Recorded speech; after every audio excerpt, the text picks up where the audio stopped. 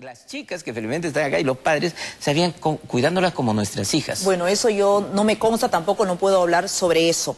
Sin embargo, este, nosotros mostramos las fotos que luego ha mostrado la televisión, otros canales de televisión y otros programas, donde las chicas estaban en una discoteca, El Diablo de Cajamarca, si no me equivoco eran de Cajamarca, pero nosotros eh, tenemos unas fotos de, eh, en la discoteca Queens de Piura.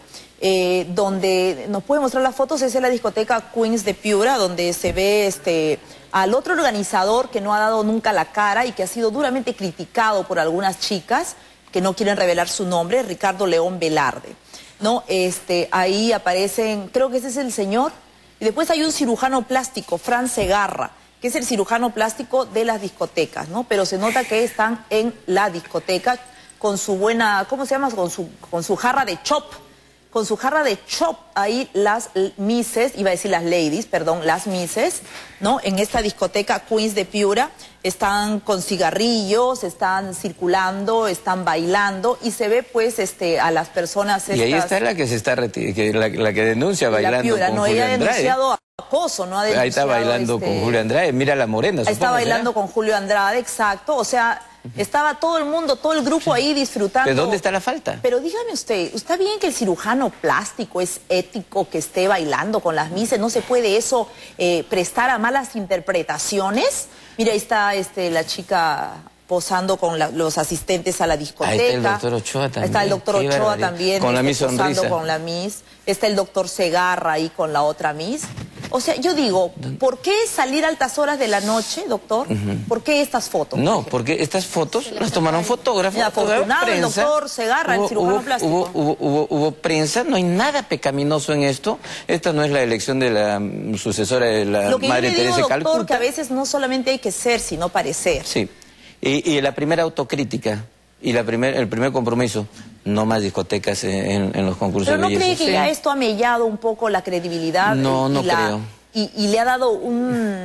no creo, no creo porque esas, no, porque esas son chicas normales, son chicas naturales. Yo voy con mis hijos a, discotecas en el verano, me pueden, Doctor, ver, pero ellas son las candidatas, o sea, no quiere decir que sean este, mujeres puras y virtuosas, ¿no? Sin embargo, este en ningún lugar creo yo haber visto que las chicas van a las discotecas donde está el dueño de la discoteca, los amigos del dueño de la discoteca. Y eso se, usted sabe, porque somos adultos, eh, no hay que hacernos acá los de los ojos cerrados, eso siempre se va a eh, prestar a todo tipo de rumores. Y no se supone que una organización seria no tiene que estar este, dando a entender otras cosas. Rumores. Por eso es que yo, yo quisiera que me den una prueba, una denuncia, una demanda, que me digan una persona se comportó mal, alguien que se propasó con una de las chicas. Felizmente hemos tenido la confianza de los padres de familia y las chicas como que en, han estado... Como en algún otro concurso donde yo denuncié particularmente el concurso de, de Miss Perú, donde lo organizó Débora de Sousa, las chicas no hablan solo dejan sentir sus, malestares por teléfono, a través de sus padres, pero sin decir nombre sobre todo. ¿Por qué? Porque la mayoría de estas chicas que están aquí quieren ser modelos, quieren destacar en el mundo de la moda o quieren entrar a la actuación. Y ellas saben que diciendo nombres muchas puertas se les van a cerrar. Por eso es que muchas de ellas no hablan y no dicen nada. Y eso es, es muy cierto y lo sabemos todos hace mucho tiempo. Pero la denuncia de Silvia fue además eh, fuerte contra la, la, la, Misa Arequipa, ¿no? Sí, pero Silvia se disculpó en privado, se disculpó en público y creo que esta es una buena oportunidad. Eh, los comentarios que pasaste estuvo acá en tu programa el día 14 fueron, yo dije, los comentarios que me dicen las candidatas es que la misa Arequipa y tal cosa, ¿no? Entonces, al día siguiente yo conversé con Jacqueline, le dije, bueno, en verdad fue falta mía, eh, de repente comentar comentarios que me dicen las mismas candidatas, sin tener los fundamentos de ellas, ¿no? Ese fue mi error, te pido disculpas, pero en ningún momento yo afirmé, le dije, que yo había dicho ese comentario. Y de ahí pasé yo una nota de prensa, yo misma pasé una nota de prensa con mi firma y todo, con el consentimiento del doctor Ochoa.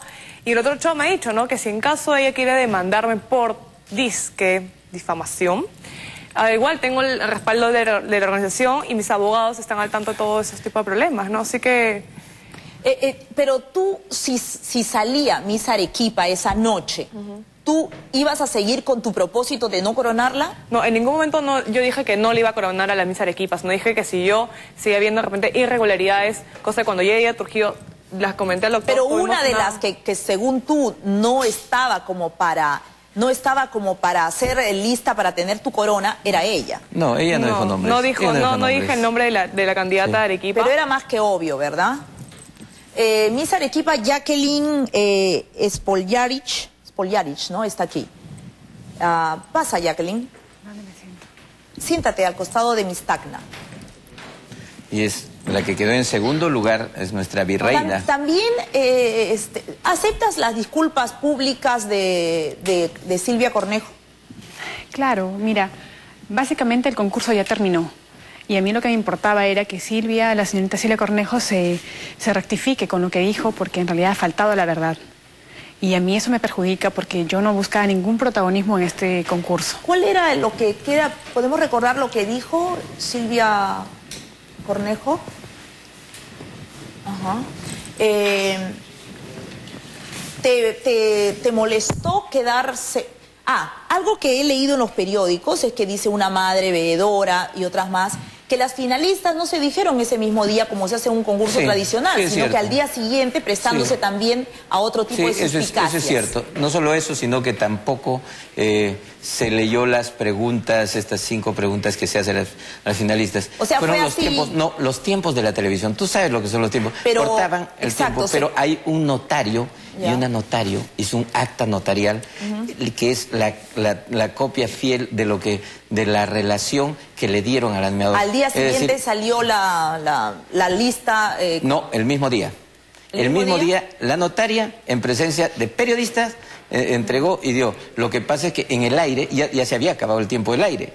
Y tú lo que sabes pasa lo es que una mamá veedora de- que estaba de- leyendo acá, la señora Mariela Cáter, dice que les quitaron los papeles, a última Claro, hora pero, vino un pero- jurado. sí, pero había, había un notario. Lo interesante de esto es que la elección ha sido intachable, ha habido notario, ha habido veedores, y como decía yo, incluso la misma Silvia eh, dijo, yo no corono, y ella coronó porque ella vio que Pero ella había- dijo, que yo había- corono si claro. es que no sale Miss Arequipa, No, no, casi no, específicamente. Y si hay otras chicas que, que, que yo sé que han tenido mal comportamiento.